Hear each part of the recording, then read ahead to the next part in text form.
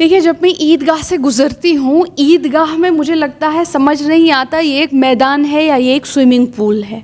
अगर आप वहाँ देखेंगे, इतना वहाँ पानी जमा हो गया है, इतना ढेर पानी का है, इतनी गंद है वहाँ पे।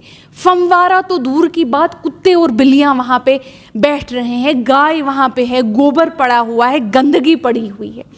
आप उसके इर्द गिर्द की सड़कें देखिए। आप देखिए उन सड़कों पे क्या क्या गंद मची हुई है डाइपर तक वहाँ पड़े हुए हैं।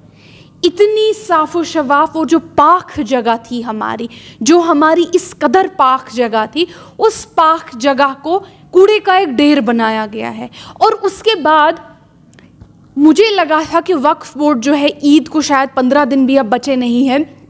वक्फ बोर्ड जो है, कहेगा कि हफ्त हफ़्ते सिर्फ़ दो बचे हैं, हम इसकी जल्दी जल्दी सफ़ाई कर देते हैं क्लियर कर देते हैं। मैं देखती हूँ वक्फ बोर्ड जो है वहाँ से और वहाँ से जो बयानात आते हैं कि हमें डिमार्केशन करना है, वही पुराना ज़मीन निकालो बुलडोज़र चलाओ, ज़मीन निकालो बुलडोज़र चलाओ। जहाँ काम करने की ज़रूरत थी, वहाँ लोगों को चूसने की बात हो रही है। लोगों से क्या निकालेंगे? मैं तो बचपन से यहाँ पली बड़ी हूँ। मैंने बचपन से ईदगाह की वही बाउंड्री देखी है। मुझे समझ नहीं आता, ये किसने ईदगाह की कोई और और बाउंड्री देखी है? वही फेंस था।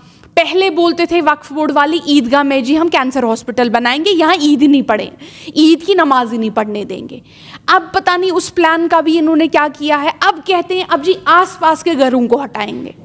उसके बाद जो सफ़ाई करने की बात है, जो काम करने की ज़रूरत इनको है, जिनका ये लाखों करोड़ों रुपए फंड पकड़ते हैं, उसका कोई जवाब ही नहीं।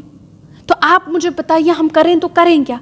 ये बीजेपी की सरकार को इनकी कान पे जू नहीं रेंगती है। हम इनको कोई कौन समझा सकता है? इनको कोई कैसे बता सकता है कि ईदगाह में काम करने की ज़रूरत है, लोगों को चूसने की ज़रूरत नहीं है? पहली बात तो ईदगाह में मेरा जो बड़े बड़े मतलब शेख साहब ने तक ईदगाह में नमाज़ पढ़ाई है। ईदगाह में पचास साल से, साठ साल से, सत्तर साल से, पता नहीं कितने सौ साल से नमाज़ पढ़ी जा रही है। लेकिन बीजेपी आई है तो कुछ तो नया होगा। बीजेपी है, अब तो नया कश्मीर में एक तो एप्पल में से जूस निकलने लग गया है। ये टूरिस्टों का फ़ोटो चढ़ाते हैं। देखिए नए कश्मीर में टूरिस्ट। ये टूरिस्ट, ये दुकानों का फ़ोटो चढ़ाते हैं। देखते हैं नए कश्मीर में दुकान। और किन दुकानों के फ़ोटो चढ़ाए? जो 1920 से आज सौ सौ साल पुरानी दुकानें हैं। तो इनका अपना कुछ है नहीं। जो पुराना नेशनल कॉन्फ्रेंस की सरकार ने किया है, उसी को रैपिंग करके बेचेंगे। करेंगे क्या? बोलेंगे क्या? बेचेंगे क्या? नेशनल कॉन्फ्रेंस का ही काम तो बेचेंगे आगे, और क्या करेंगे?